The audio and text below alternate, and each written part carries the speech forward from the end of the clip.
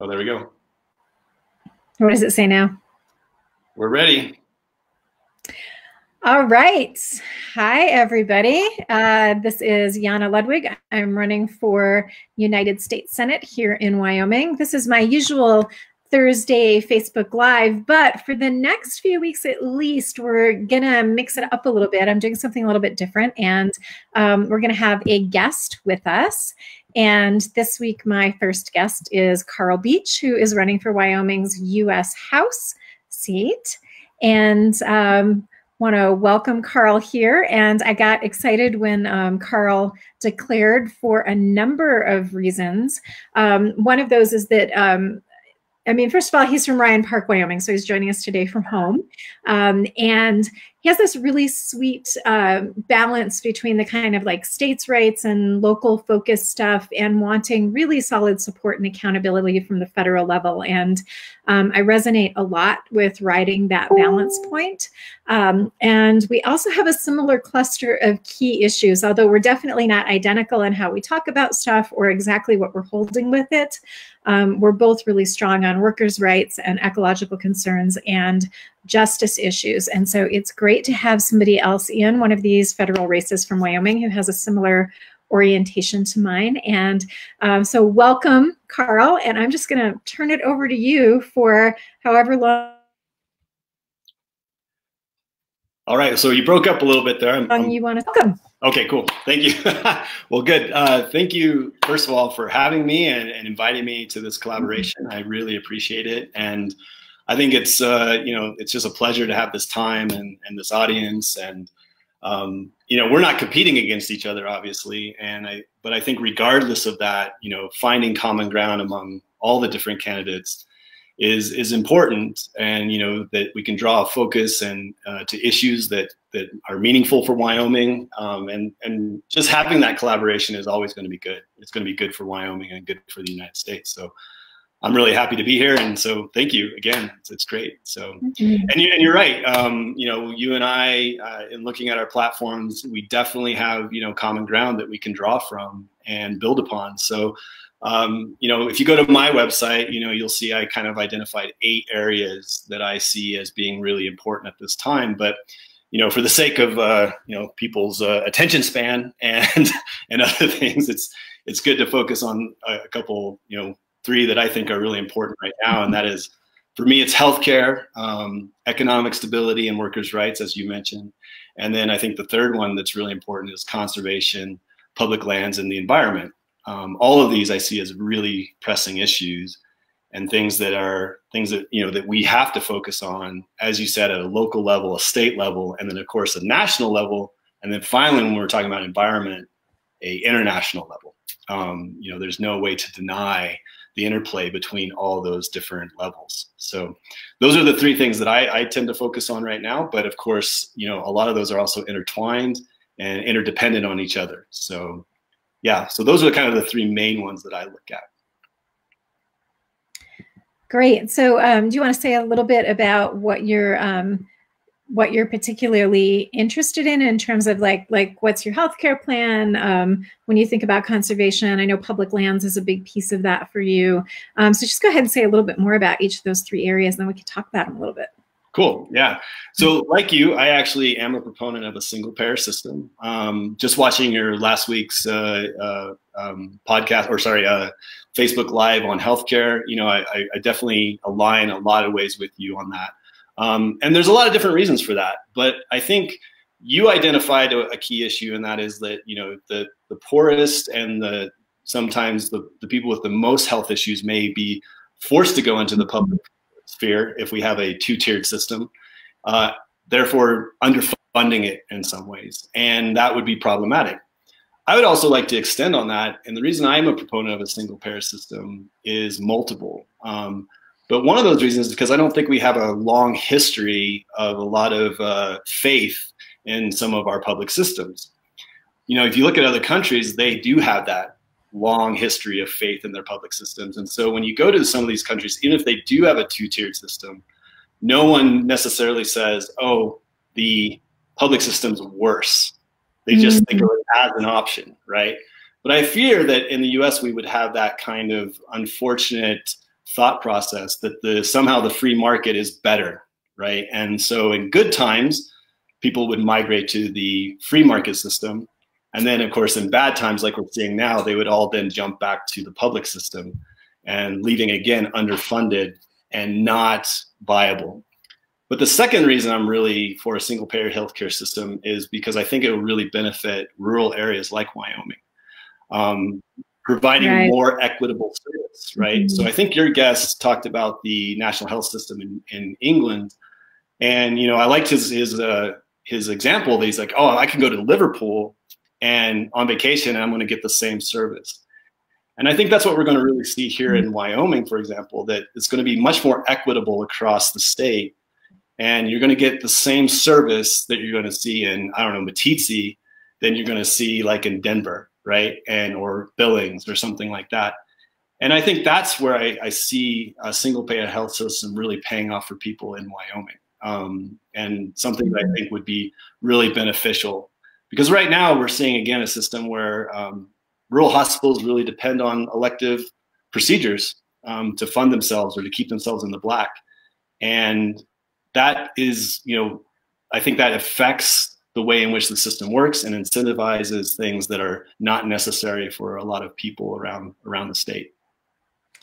Right. Yeah. It's um like in some ways I feel like that concept of like in network and out of network is one of the most disastrous things that has happened with our healthcare system because it really is true that like, you know, if I break my arm in Jackson, like I might not be able to find like an in-network option for that or if i get sick or you know something like that and you know and so the fact that it's so spotty from place to place and that like healthcare is really different in different places i have some friends who have um, you know, chronic and ongoing issues. And like they're driving five, six hours to get to like the specialist that is okay for their insurance.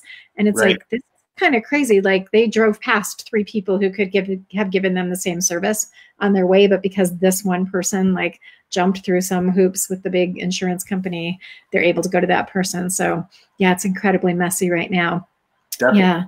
Yeah, great. Yeah. And that's interesting. I hadn't really thought of that sort of yo-yo effect that you're talking about with like, you know, during good times, people might gravitate for, toward the private insurance. And um, so th- like, I feel like that's an interesting piece that I haven't really thought through the implications of. So great. This is why we should be talking to each other. That's right. Well, that's right. Everyone has, yeah. you know, again, different viewpoints, you know, from where you're coming from and, and how you see things, you know, being applied in different areas. I mean, we can't, you know, a lot of times we make that mistake. We're like, oh, let's apply, you know, a system from I don't know Germany or the, you know the Netherlands mm-hmm. or wherever to here, and that may or may not work. But I think we can take the viewpoints and and some of the the ways in which they do apply, you know, like a healthcare system, um, and utilize them as models to to do something here in the U.S. that can be really great. I mean, you know, we often look at our military, for example, as the best in the world. You know, a public funded you know aspect to our government that we consider mm-hmm. one of the best in the world. I would like to shift that as well into you know our healthcare system, and we have a chance to make the best healthcare system in the world that is good for everybody. And that, to me, that kind of shifting of our, our perspective would be so beneficial for people around the U.S. and and so that's something I would hope for, right? Utilizing the models that we have mm-hmm. across the world, but developing a system for ourselves that that we can truly be proud of and uh, and make sure that, that, that everyone in the U.S. has healthcare coverage for their own stability and security. Yeah, yeah, and I think about it in ter- like I feel like our medical personnel in the United States are like pretty well trained. Like I feel like we have one of the best systems in terms of like who who we have doing that work and like the quality of work that they're doing and the system around them is horrible and like doesn't at all support that expertise and we see like there's been some interesting interviews with people in medical school right now who are basically saying like I don't want to practice within our current system. Like I'm thinking about like leaving the US after med school to like mm-hmm. go somewhere else where like the insurance system around it and the payment system actually really supports the quality of education that I'm getting right, right now is outstanding and like I'm not sure this is the place to practice and I'm like that feels really sad to me and it feels like we're sort of falling down on the job in some significant ways and it's not about the quality of our medical personnel at all. It's about like what's around that and the context that they're having to operate in. Right. Yeah, that's another example of like almost like a brain drain, right? That you you get people mm-hmm. who, who are dedicated to a specific industry or field and then they leave because they don't work well within that environment, right? Which which I mm-hmm. think we see that. So we were talking, you know, another aspect to our platforms is about, you know, economic stability uh, and workers' rights, right? And and this is another area that I think Wyoming suffers from. Um, many people leave the state who grew up here um, because the opportunities are just not there, right? They're just not developed enough, or there's other factors involved. And yeah, so I mean, I think we see that that consistently happening to a lot of our population. So young people feel, you know, opportunities aren't available to them that could be. So whether that's, you know, ensuring that we have better internet access across the state in terms of rural communities, I think that's an important aspect that we need to do um, to increase the uh, attractiveness to Wyoming, right? I mean, I think we're a great state for that. We have abundant outdoor activities, a great mm-hmm. lifestyle, lots of, I mean, maybe not in March, some people, you know, March, April, um, you know, but overall, we have some really great, you know, aspects of the state that we can capitalize on. But we have to have that infrastructure to keep people here. And included in that, as I think you and I both agree on, is, you know, ensuring that there's a base level of security for workers of all mm-hmm. levels where they can, you know, live uh, good, comfortable lives and feel good about uh, their situation wherever they may be, Laramie, uh, Rock Springs, you know, doesn't matter at Sheridan, you know, that they can pay the rent, that they have mm-hmm. that they have security in, in their health insurance, which again, workers' rights to me and health insurance go hand in hand, right? They go right together. You know, you can't feel secure if you feel like you can't go to the emergency room because of, uh, of right. uh, overreaching bills and the possibility that, that might bankrupt you. You can't do it. You'll never feel secure. And um, right. And I know what that feels like. I was at that point in my life once. And it's horrible. It's a horrible feeling. You know. I mean, I was yeah. lucky. I was young and healthy, but um, yeah. Yeah. Yeah Yeah, and it's interesting, isn't it? I mean, I think the the state is pretty close, although the state's also looking at laying off a bunch of people right now.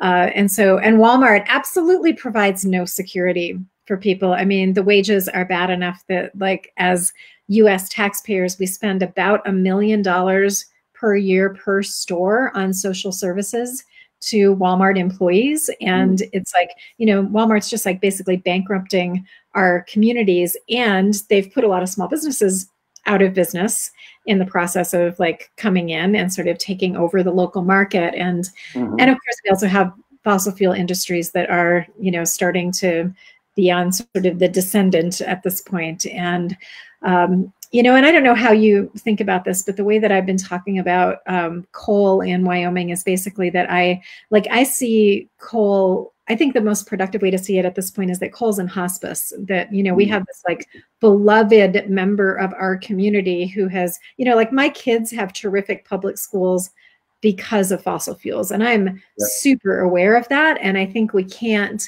diminish the value of what fossil fuels have brought to the state and it's dying. And like being in denial about that isn't actually going to help anybody. And i feel like you know the best thing we can be doing right now is to be really taking care of coal workers and not letting these sort of like serial vulture capitalists come in and like take over coal companies and then screw the workers over every couple of years as they're going into repeated bankruptcies. Like that feels like the worst possible thing that we could be doing in terms of taking care of our workers and when someone's in hospice you're also making plans for what's next like you're not going like, oh, they're going to be here forever. It's like, well, they're not going to be here forever. And so, what do we actually need to be doing? And so, that's kind of how I've been framing it. And I don't know how you think about oh. like that intersection between like workers' rights and coal and oil and climate disruption, which is another thing that you and I both have, you know, some attention on. So, would love to hear from you about that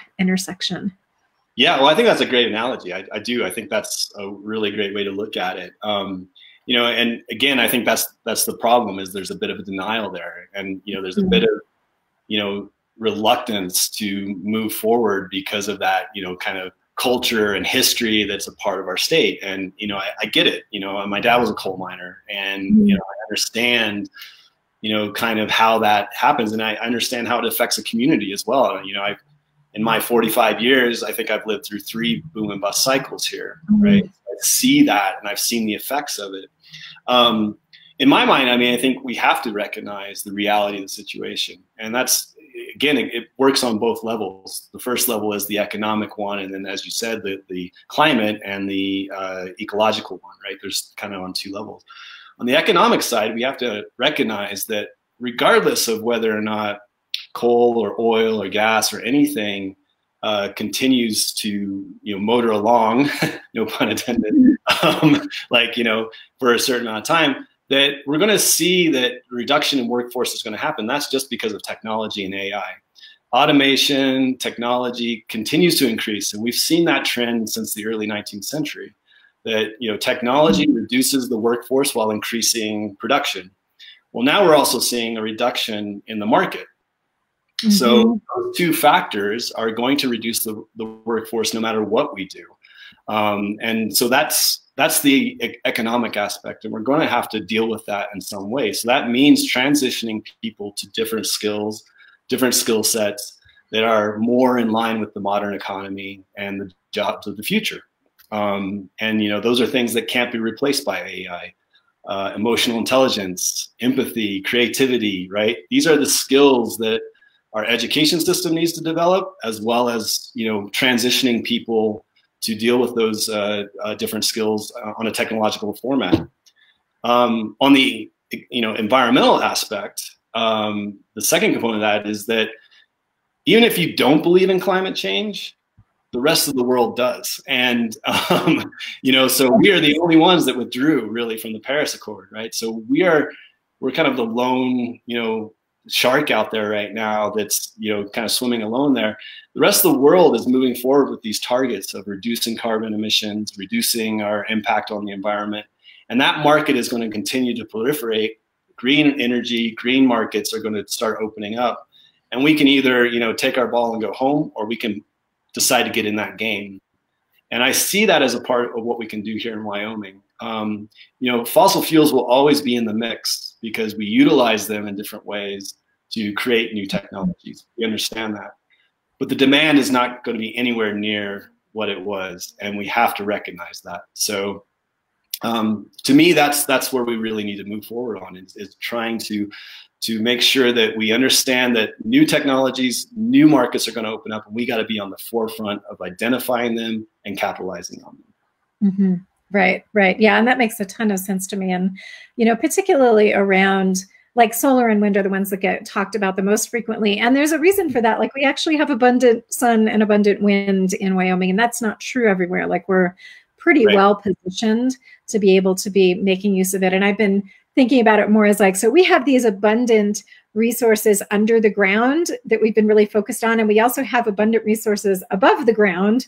And right. like now we can like start tapping into those in a much more um, like deliberate way. Like it's not that there aren't like windmills all over the state at this point that you can see. And you know we've got a lot more potential to be doing a lot more of that and and i'm actually in favor of uh, local communities creating microgrids for their communities um, you know, one of the bizarre things uh, last summer when I could still drive around the state and like meet with people was driving sometimes for like hours and like there's no people, but there's the electrical wires the entire right. time. And it's like, so this is actually incredibly wasteful, like electricity running along those wires. Like some of it just gets lost. There's this thing called line loss, and um, and so it's not only the resources going into creating that infrastructure, but also, you know, it's just a really inefficient way to be delivering electricity. And so I would love to see like locally controlled microgrids and like really restore some of that power and control and that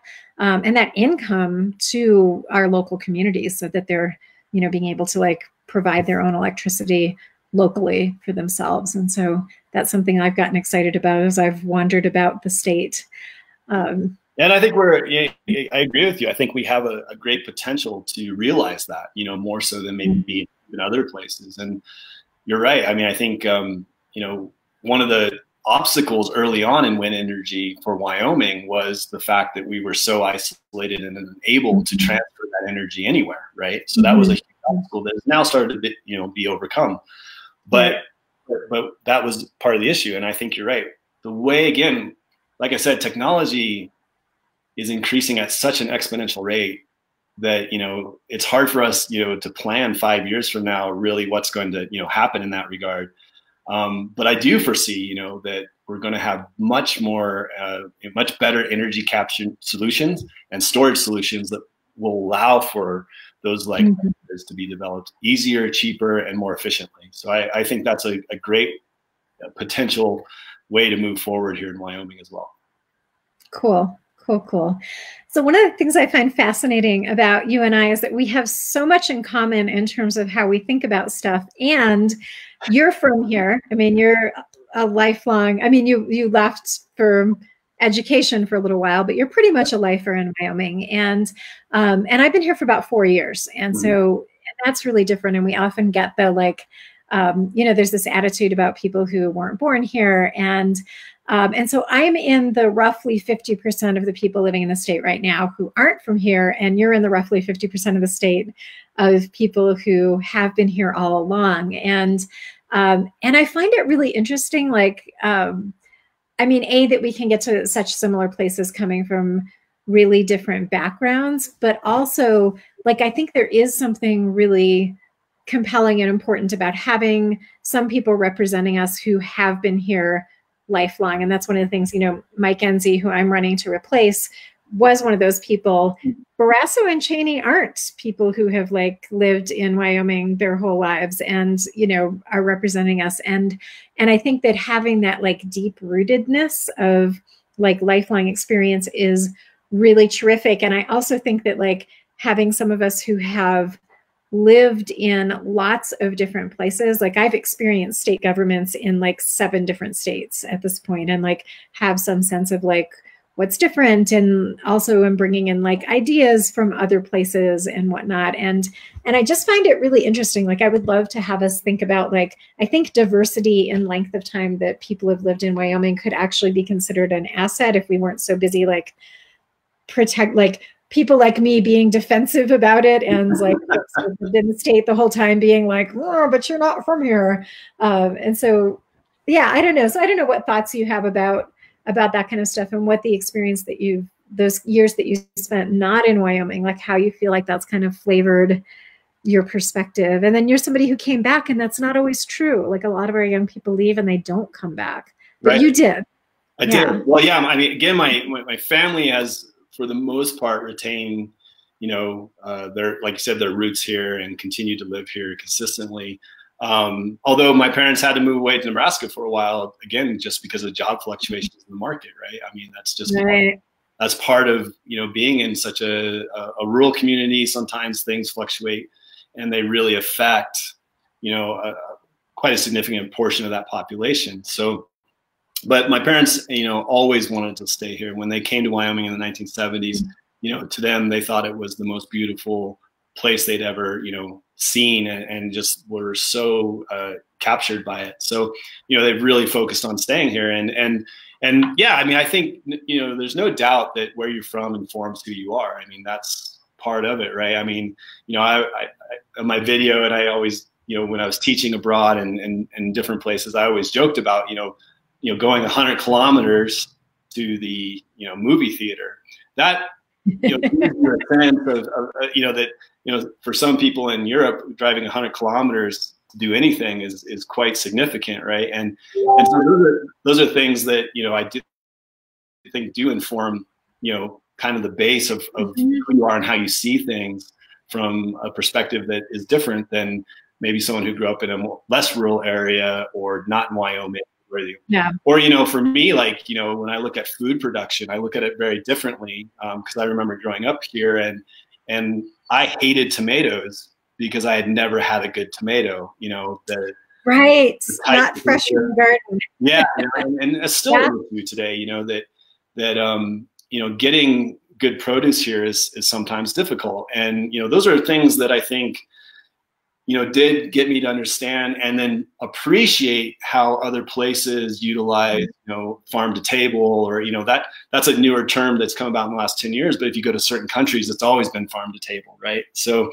um, for me, like, yeah, the the kind of I guess interplay between growing up here and then leaving and then seeing all these different you know cultures and ways of doing things abroad has really made me reappreciate a lot of the things that I mm-hmm. with here, um, and also come back with a, a different critical eye on how to improve things, not to do things the same way, but just to understand that there are new ways to do things and, and think, you know, that, and my dad and I were just having a conversation about, you know, building here in Wyoming that I thought was cool. So I just got back from Poland and, and both in Poland and then I was also in the Pyrenees of southern France and, and they, they utilize things like, um, you know, they keep the snow on their roofs and it's not because they get less snow, it's because they use it as an insulating factor. Whereas right. here in Wyoming, we're always trying to get rid of the snow on our roofs, right? Uh-huh. Again, like looking at those different aspects to say, oh, okay, like this, why mm-hmm. is it done this way? And how could we, you know, utilize those examples to maybe, you know, make things work better or, you know, change mm-hmm. things a little bit. So just, you know, little things like that are things that now I really appreciate between the two areas that two parts of the worlds I've lived in, I guess you could say. Nice, nice.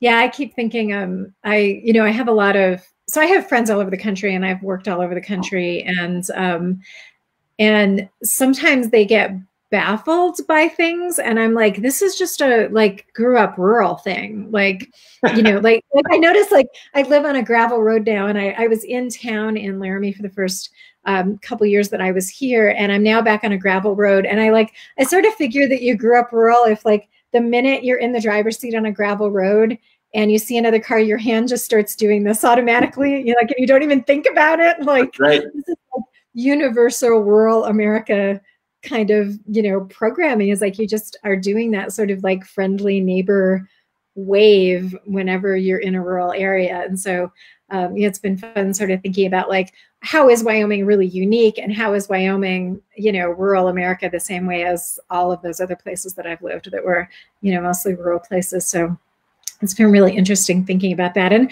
you know, running for office, you get a lot of people like concerned about where you're from. And so I've mm. had a lot of time to think about it over the last year. Like, what do I feel like it's just rural America? And I know that stuff, you know. Yeah. What do I need to be really respectful about that is, you know, really uniquely Wyoming. And, mm-hmm. That's right. Yeah. yeah. Yeah. I think I think that's where, you know, again, growing up here, you know, I, I can't shed that off. You know, that that's part of, right. you know, my identity. And I think, you know, that's that's a really positive thing in a lot of ways. You know, I mean, you know, when we were kids, we were always trying to escape it, but then mm-hmm. you, know, you come back and realize, you know, how great it was to grow up in this area. You know, I mean, for me, mm-hmm. having a, you know, million acre playground is so unique, you know, mm-hmm. to a lot of people in the world. You know, it's just a, it's a different experience. Right. Nice. Nice. Okay, so um, so we're getting close to the half hour mark, but I there's one other thing that I really want to celebrate um, with you before we wrap up, and that is so you um, you've been doing a podcast um, the Ryan Park Chronicles, right? Yeah. Um, and I would invite you to go ahead and put your links in the um, in the chat after we're done with this for your website. Um, you know, Beach for Wyoming, uh, and and one of the podcast episodes that I'd listened to was this really interesting and thoughtful piece I thought about um, white male privilege and you know and so we're both white people running for office in a state who has as near as i can tell always elected white people to represent them federally. And I think we're both pretty tuned into like, that's a sensitive thing. And it's not like, you know, white people who are like, you know, we're running to have more power and we already have a lot of power as white people. And um, and so I just want to really celebrate for the folks that are partly excited about my candidacy because I am tuned into those kinds of social justice issues and whatnot to really check out, um, you know, that piece that you did on privilege and um, and just hear the level of thoughtfulness that I feel like you bring um, into those issues and um, you know want to give you a chance to like say a little bit about that part and like how you relate to kind of justice issues because I know that's important to a lot of people that are following me. Yeah, well, thank you. That, that those were very kind words. Um, and it, you know, it's it, it, you're right. It's really hard to negotiate that that world, right? I mean, it's, it's you know, you don't want to be like a white apologist and just be like, well, I can't help it, you know, that I'm white, you know, right. that kind of thing. because I think part of that is recognizing that you know there's times for you to step down and step back, right? There's times for to you know you know uh, open that space up and you know invite other people to get involved and, and support them and, and that.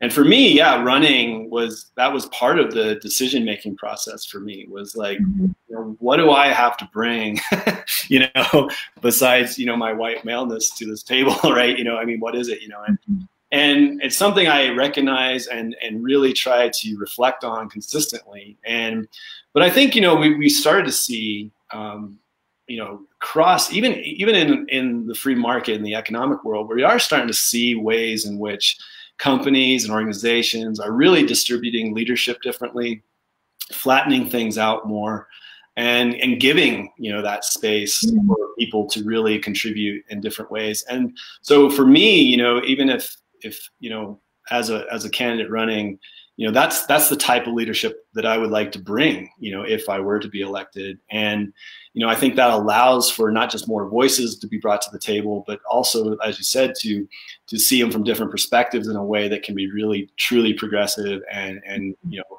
sort of you know bring about change that is going to really help out uh, underserved communities uh, people of color like you know things of that nature. So um, so I think you know sometimes you, you, do have to throw your hat in the ring, you know, even though you may think, oh, geez, like this is not, you know, the perfect scenario, but uh, you know, you hope that in doing so, you can, you know, help, uh, you know, bring more people to the table and bring those issues to light. So that that would be kind of where I guess I, I come from in recognizing that that I'm running as this white man. Yeah. So you're not going to be doing the kinds of stuff that Liz Cheney has been doing about like the tribes are ruining our Western way of life. Like, oh my God, did she actually say that? Yeah. Yeah. yeah. Of irony of a white woman saying that. it's like, yeah. Really, yeah. Well, it's interesting. Yeah, and you know that that interesting idea of way of life, right? And I, I agree with like we can identify what that means. Like we can see mm-hmm. it, like we know what it means in a lot of ways, right? But it's not. It's it is still kind of elusive, and it means different things to different people, right? Um, you know, and and I think currently we're seeing an influx of of fairly wealthy individuals coming to Wyoming, and you know, playing cowboy. Uh, on a ranch, and that's very different than the way of life I grew up with, right? That's not the mm-hmm. same thing. Um, you know, a lot of ranches around here for me have been bought up, um, consolidated. Um, you know, a lot of family ranches have been taken over. And that's something I think, you know, if we want to protect our way of life, we have to protect those ranchers. We have to help support them in maintaining their independence. And, and so you're right. Like, it's funny, like how how we yeah i'm not going to be that you know? well, thank you for not being that. Yeah and, and, recognizing that you know our you know indigenous populations here in the united states have suffered greatly um, greatly greatly greatly and we'll never be able to make up for that no matter what we do. And you know we we consistently need to be um, thoughtful and engaging with them and and trying to help them to provide you know a, a situation that betters them on their terms not our right. right? You know, and and yeah. so I think that's really important, and that takes a lot of listening, a lot, and that's actually why I don't have currently any uh, part of my platform has a section on Indigenous rights at the moment, even though I'd want to put that there because I haven't been a part of that community lately um, for the last 20 years. You know, I still have friends in the Wind River Reservation, but I want to go and talk to them before I make any real, you know, strong statements or, or stances. Uh, currently, I, I, feel I need to reconnect before I do that. Nice. Okay, great. All right. Well, thank you so much, Carl, for being with us. You want to, um, so for folks that aren't going to look at the chat stuff, you want to just say what your social media and other contacts are, sure. so folks find you.